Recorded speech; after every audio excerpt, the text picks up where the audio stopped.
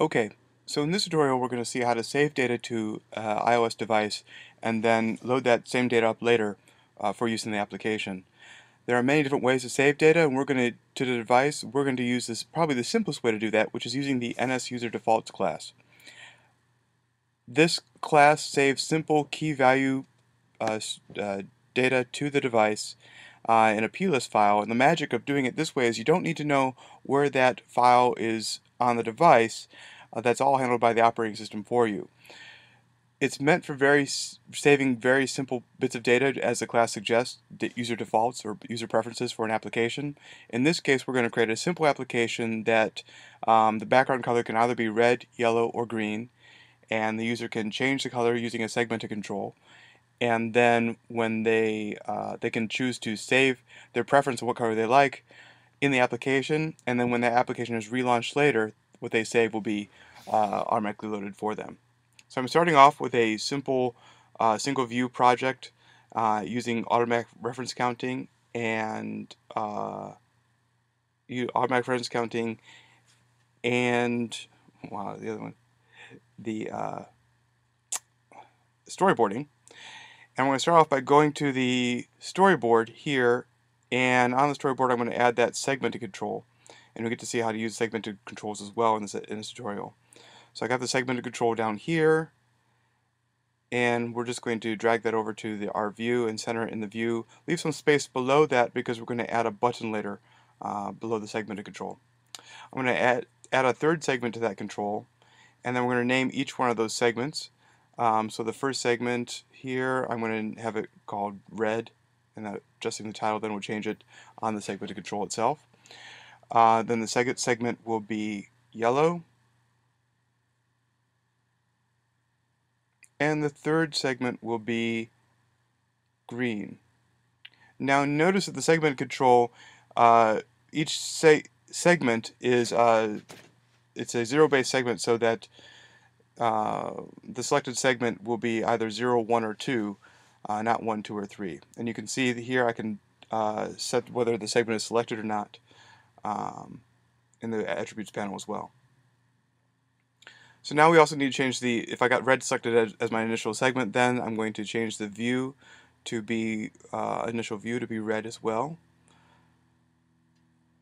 And uh, that's easy to do from this panel over here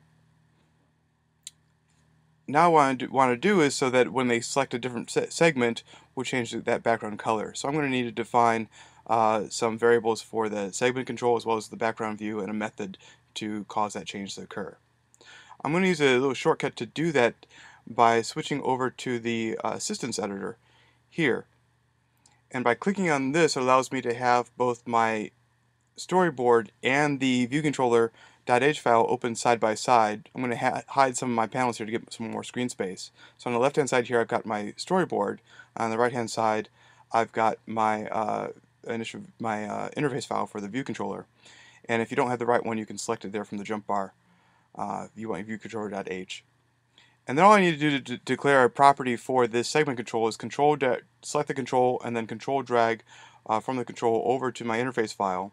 This menu will pop up and I can set the attributes there. I'm going to call this my color control and make sure it's an outlet.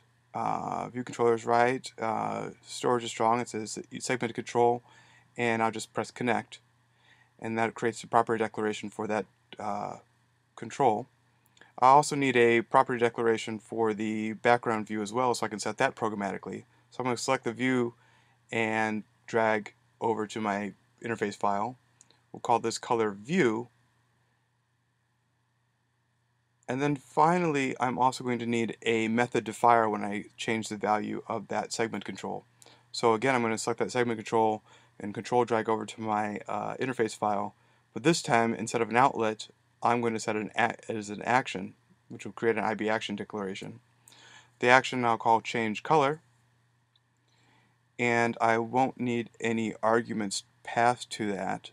So we'll do it on the value changed and then I will um, make sure it's an action, and then I will uh, not pass any arguments. And that creates my method declaration as well. The nice thing about doing it this way then is I can switch back to my standard editor and I'll bring back my panels as well.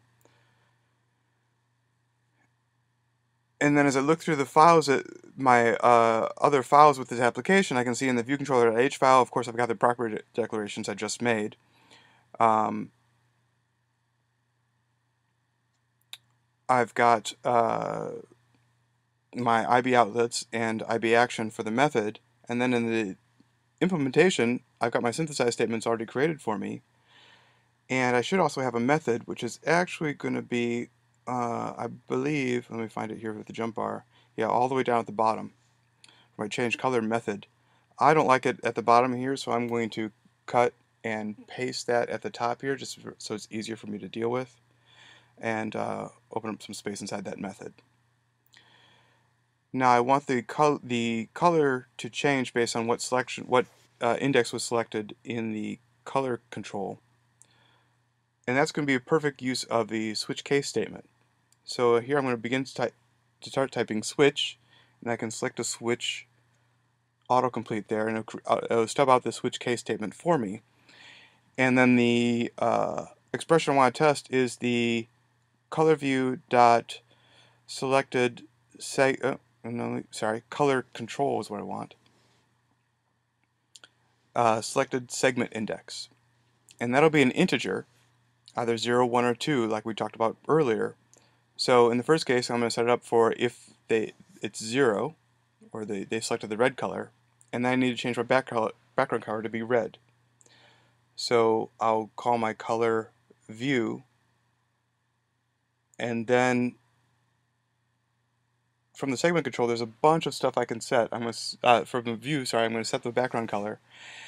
And I'll need a UI color, and we just use the red color. So if it's zero, we'll set the background color to red. I need two other cases in case it's one or two uh, for yellow and green. So I'm just going to copy my first case statement and paste it in this method twice more. Uh, and in case it's 1 I'm going to set the color to yellow and if it's 2 I'll set the background color to green. So now I can test the application in the simulator and we should be able to click on that segmented control and see the background color change.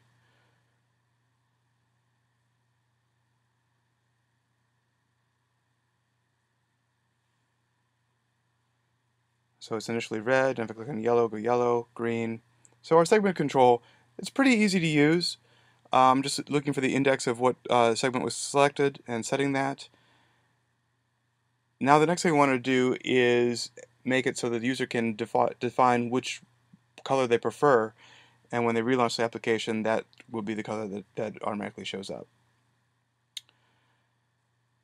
To do that, I'm going to need a button to set to trigger that setting of defaults. So I'm going to drag a button below my color control, my segment control, and I'll label that button Save as Default.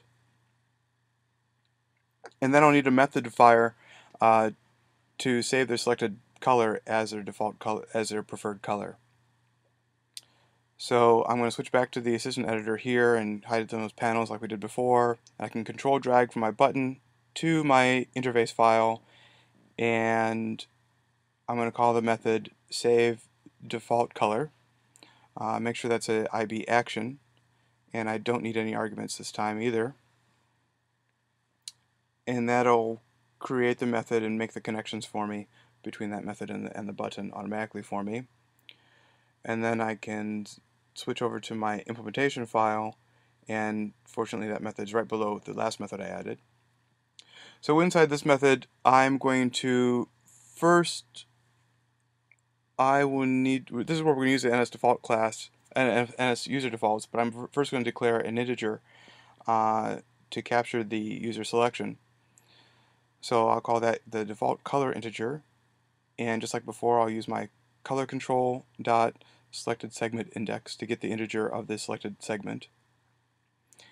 And now use the NS user defaults class. So first I need to create a pointer to uh, the singleton of the class.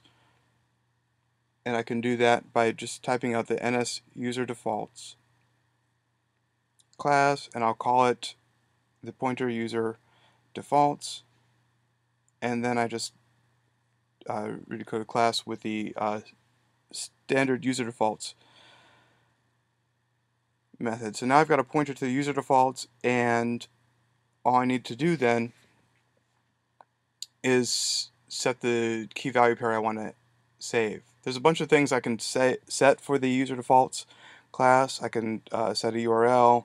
You can see I can uh, just set values for keys, but if I look up here, I, will see set float, set integer, set bool. Uh, I believe it's set object as well. In my case, because I'm working with an integer, I'm going to set integer, and I'll pass them the integer that I just uh, created there with the user default color integer. And then for key, and I'll call the key uh, default color. I'll need this key later when I uh, load the uh, user defaults. And finally, I call user defaults synchronize, and that does the equivalent of saving uh, to the plist file for me. Uh, then just to make sure that uh, this method is actually firing correctly, I'm going to create an nslog statement and uh,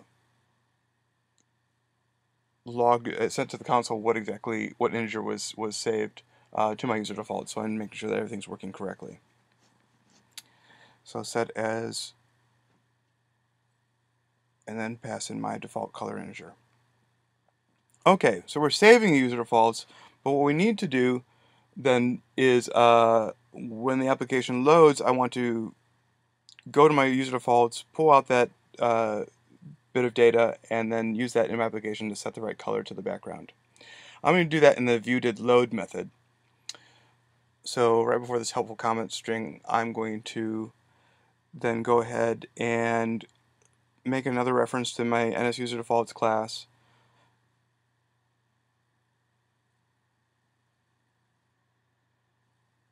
And it'll be user NSUserDefaults, standard user defaults. And then uh,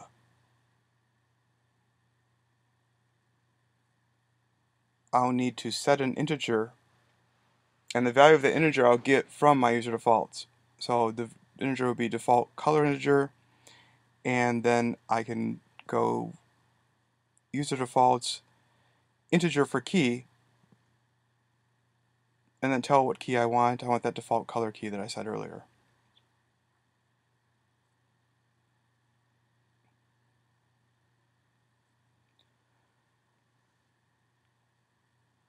Now I need to I want to use this integer. First thing I want to do is uh, set the segment control to have the uh, right segment selected according to what their preference was. So on my segment control, I can call the uh, set selected segment index and pass it that integer I just set. And then I want to change the background color to according to what integer we have. Um, red for 0, yellow and green appropriately. So again, I use a switch statement. The expression I'll test for is that is my default color integer. And then everything else inside this case statement is pretty much the same as what I used earlier. Um, so I'm just going to copy out the case statements from the earlier switch statement and paste them in this one to save some time. So 0 will be red, 1 will be yellow, 2 will be green. And now everything should be set to use. I've gone to my user defaults, I've pulled out my default color integer, I'm using that to set the in, in, uh, the index of the seg segment control as well as set the right color. So let's test this in the application. And we'll see that I can select a different color. I'll set to yellow. I'll save yellow as my default. I'll set it to green before I close the application. Green was the last color I picked, but now when I relaunch the application, uh, yellow pops up because that's one I set as, as the default color. So I'm correctly setting the user default and then reading